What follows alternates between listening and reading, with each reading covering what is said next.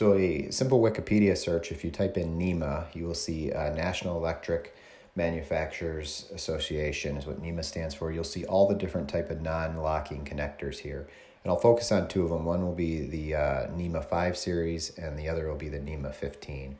And if we click on NEMA 5, you'll see this typical 5-15 residential receptacle. And right above that is a 5-20, which you might have has a little T built into the receptacle. If you look at the web page for Tesla, you can see the Model S3, X, and Y here listed and all the different maximum miles per charge for the 515, which is the basic receptacle, the 20, which is that T receptacle. And you can see the 14-50 is much higher, 29 miles per charge versus 3 or 4 for those basic receptacles. And here's what they look like. So this NEMA adapter for the 1450 it has a little bit different plug. It's about $35 at least at the time of this video. And it gets you 29 miles for the Model Y. And you can see what, what other models there as well. So it's a huge difference, 29 miles per hour versus the three or four that, that are on these basic receptacle plugs. And so if I look at 1450, which is what I opt for, uh, excuse me, the, the NEMA 15 uh, here, 14-50, um, 14 series. I'm sorry, this is the wrong one. It's right above it here. The NEMA 1450 uh, are frequently found in RV parks. They're used for shore power and larger recreational vehicles.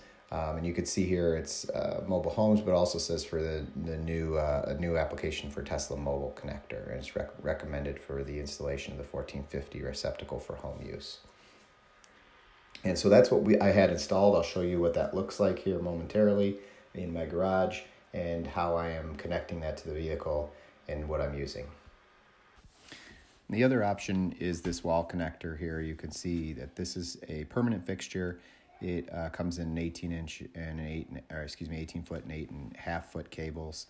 Um, it's a really nice design. It looks really great on the wall, and you can get up to 44 miles uh, of range per hour using this with a 48 uh, amp output and has Wi-Fi, uh, etc. Like I said, it's a really sleek, good-looking solution.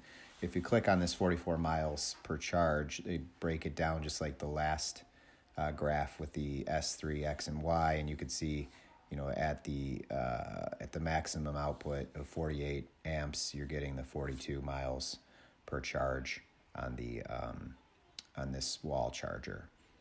So I think the first option is to see, you know, what type of um, electrical outlets are in your garage, and then kind of decide what technology to go with, the wall mount or kind of the mobile connector. And again, I'll show you here uh, in in my garage what I opted for and the solution that I selected.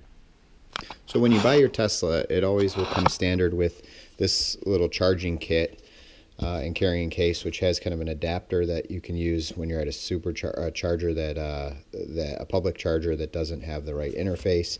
Um, it comes with this adapter cable that's ready for a typical household plug, 115, and then the charger itself. This is called the mobile charger, which you will plug your adapter, your this adapter into, and then that has the the port that gets plugged into the vehicle itself.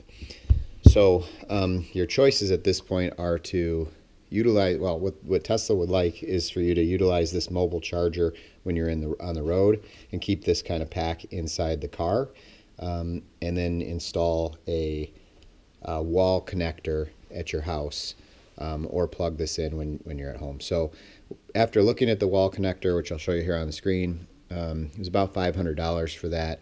Uh, I opted to just install uh, a, a more powerful outlet in my garage and then um, purchase an adapter like this, which looks very similar to the one that uh, they send, but it's just um, has a different terminal on it. This one's for a NEMA uh, NEMA 50, uh, 14, excuse me, NEMA 1450 adapter.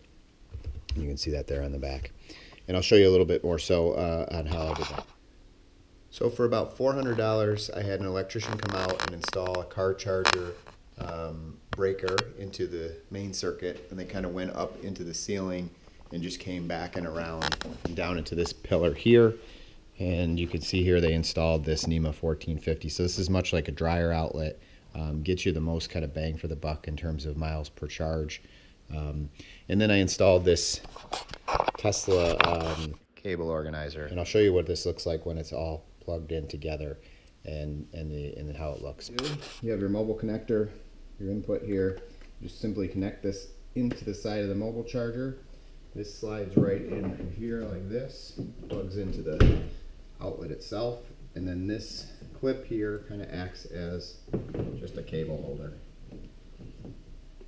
And so that.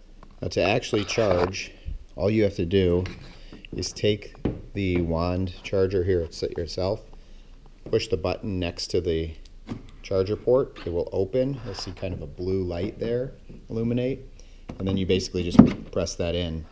It'll take a minute. You'll see it flash, and then eventually it'll turn green. There it goes, and now the car is charging. And if you kind of just open the vehicle and look, you can see that it's it's charging there, and it gives you a amount of time left to charge. Please click that like button and subscribe if you like the video.